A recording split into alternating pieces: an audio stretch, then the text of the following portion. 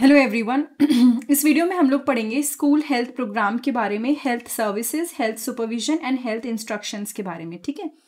एक comprehensive school health programme जो होता है ना, उसमें तीनों चीज़ें मिल जाती हैं। क्या क्या health services, health supervision and health instruction.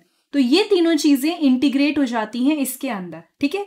Now अब हम लोग हर कंपोनेंट के बारे में पढ़ने वाले हैं। सबसे पहले we will discuss health services so health services में होता है provision of basic health care services यानी कि स्कूल हेल्थ प्रोग्राम क्या करते हैं ना? उनके पास स्पेशली हेल्थ प्रोफेशनल्स होते हैं, जैसे कि स्कूल नर्स या हेल्थ केयर प्रोवाइडर्स जो उनको basic health care services provide करते हैं। ठीक है? सो स्कूल हेल्थ प्रोग्राम्स के अंदर they have the basic health professional जो स्कूल नर्सेज हो सकती है हेल्थ केयर प्रोवाइडर हो सकते हैं, जो उनको स्कूल या बेसिक हेल्थ केयर सर्विसेज़ देती हैं बच्चों को। एंड इसके अंदर क्या होता है ना फ़र्स्ट एड सर्विसेज़ यानी किसी को चोट लग गई तो कोई भी फ़र्स्ट एड के साथ रेडी होगा। एडमिनिस्ट्रेटिंग मेडिसिन मेडिसिन देना अगर कोई इमरजेंसी सिचुएशन आती है, या फिर क्रॉनिक हेल्थ कंडीशन को मैनेज करना। जो भी आपको लग रहा है कि कोई कंडीशन है किसी की, और सपोज़ कोई बच्चा है जो डायबिटिक है और उसको इंसुलिन का इंजेक्शन देना एग्ज़ाम्पल तो कई स्कूल्स में ये भी प्रोविज़न होता है कि जो नर्स है वो उनको इंजेक्शन दे देगी। ठीक है? एंड अगर कोई इमरजेंसी होती है तो उसके लिए रिस्पॉन्ड करना। तो हेल्थ सर्विसेज़ में आया सबसे पहले basic health care services provide करना, वो प्रोविज़न होगा स्कूल के अंदर। ठीक है? हेल्थ स्क्रीनिंग होती है। कई बार ना मतलब रेगुलरली हेल्थ चेकअप्स होते हैं। जैसे कि आपका विजन होगा हियरिंग टेस्ट होगा, हमारा भी स्कूल में बहुत बार हुआ था। डेंटल चेकअप होगा स्क्रीनिंग होगी हमारी हेल्थ कंडीशन की, ये सब चीज़ें चेक होंगी। ठीक है? फिर है इम्यूनाइजेशन स्कूल हेल्थ प्रोग्राम क्या करते हैं? कोलैबोरेट करते हैं पब्लिक हेल्थ एजेंसीज के साथ।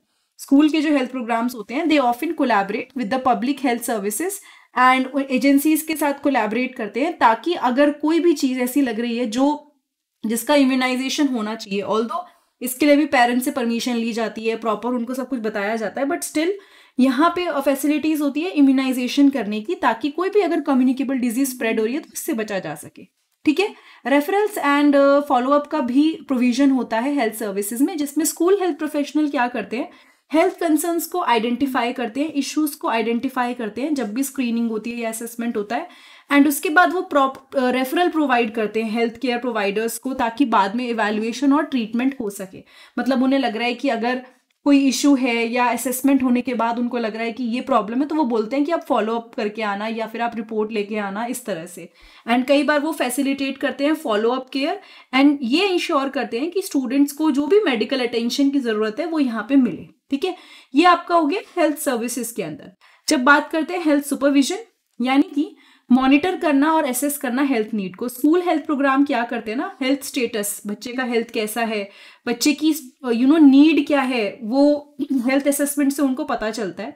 या फिर ऑब्ज़र्व करते हैं। या फिर पेरेंट्स और टीचर्स के साथ कम्युनिकेट करके उनको पता चलता है कि किसी बच्चे की क्या हेल्थ नीड्स है। ठीक है? उसके बाद आता है health record management health supervision में क्या होता है? Maintaining accurate and confidential health record for each student ये क्या करते हैं ना, हर बच्चे के लिए उनका एक्यूरेट और कॉन्फिडेंशियल हेल्थ रिकॉर्ड मेंटेन करते हैं। ठीक है, जिसमें उनकी हेल्थ कंडीशन के बारे में डॉक्यूमेंट करते हैं इम्यूनाइजेशन के बारे में बताते हैं, उनकी स्क्रीनिंग जो हुई है, उसके बारे में सारे रिकॉर्ड्स होते हैं। एंड कई स्कूल्स में इंडिविजुअलाइज हेल्थ प्लान्स भी होते हैं, जिसमें अगर स्टूडेंट है, जिसकी कोई क्रॉनिक कंडीशन है जो लंबे टाइम से चल रही है, या उसकी कोई स्पेशल नीड है तो उसके लिए स्पेशली हेल्थ प्रोग्राम डेवलप होते हैं।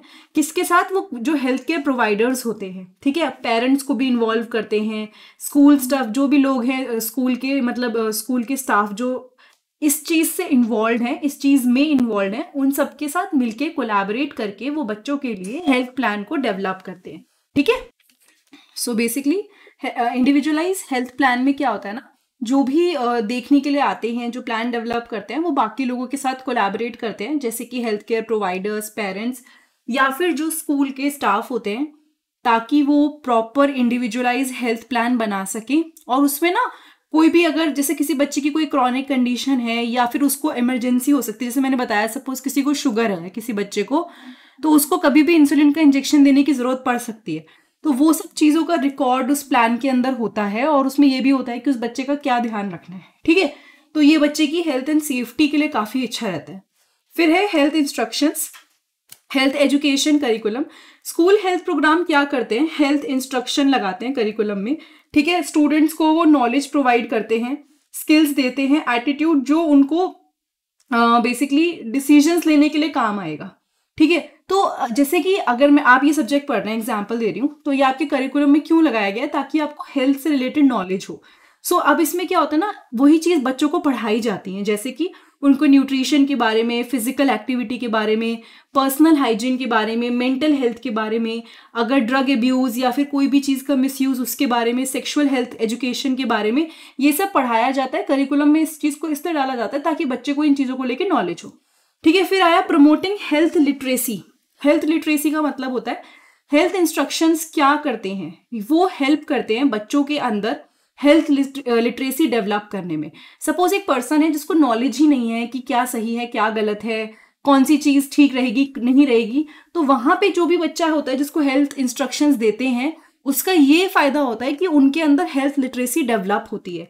ठीक है? वो एक्सेस कर पाते हैं इवेल्युएट कर पाते हैं हेल्थ इन्फॉर्मेशन को हेल्थ रिलेटेड कॉन्सेप्ट को समझ पाते हैं और अपनी लाइफ में हेल्थ प्रमोटिंग बिहेवियर अप्लाई कर पाते हैं।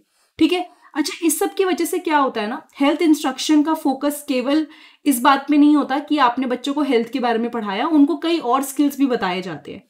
जैसे कि decision making critical thinking problem solving जो कि हेल्दी चॉइस बन यूज़ मतलब करने के लिए ज़रूरी है। फॉर एग्ज़ाम्पल मैंने बताया ना, आपको कोई बोले शुगर ले लीजिए और सैलड ले लीजिए।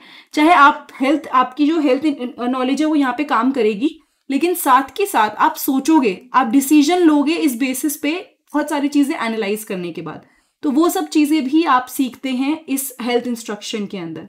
Prevention programme school health programme क्या करते हैं ना? प्रिवेंशन प्रोग्राम्स या इनिशिएटिव एड्रेस करते हैं, जिसमें कोई भी ऐसा इशू है जो प्रॉब्लम हो सकती है, उसके बारे में पहले से बताते हैं। बता सकते हैं कि अगर आपने गलत यूज़ कर लिया तो हो सकता है आप एडिक्ट हो जाए ड्रग से, या फिर आपको कोई इंजरी हो सकती है तो आप क्या करें ऐसे में जिससे इंजरी ना हो? तो ये सब चीज़ें इंस्ट्रक्शंस में बताई जाती हैं। तो जब हम कंबाइन कर देते हैं हेल्थ सर्विसेज़ को हेल्थ सुपरविजन को एंड हेल्थ इंस्ट्रक्शन को तो आपका जो स्कूल हेल्थ प्रोग्राम होता है ना, वो ओवरऑल हेल्थ एंड वेलबींग को प्रमोट करता है बच्चों में, उनकी हेल्थ नीड को एड्रेस करता है, उनकी नॉलेज को एम्पावर करता है and obviously it leads to a healthy life and ये कंपोनेंट साथ में वर्क करते हैं तो काफ़ी अच्छा रिज़ल्ट आता है। इसकी बाकी की सारी वीडियोस जो है, आपको हेल्थ एंड फ़िज़िकल एजुकेशन की प्लेलिस्ट में मिलेंगी। इस वीडियो को लाइक करने के साथ साथ सब्सक्राइब कीजिएगा। और साथ के साथ आप लोग क्या कर सकते हैं ना प्लेलिस्ट के अलावा नीचे डिस्क्रिप्शन बॉक्स में एक लिंक है। अगर वो मेरी किसी भी वीडियो से आपको बेनिफिट हो रहा है, उस लिंक को यूज़ करके you can you know buy me a book by paying whatever the amount you want to it is completely up to you and that would be very helpful thank you so much I see you next time in the next video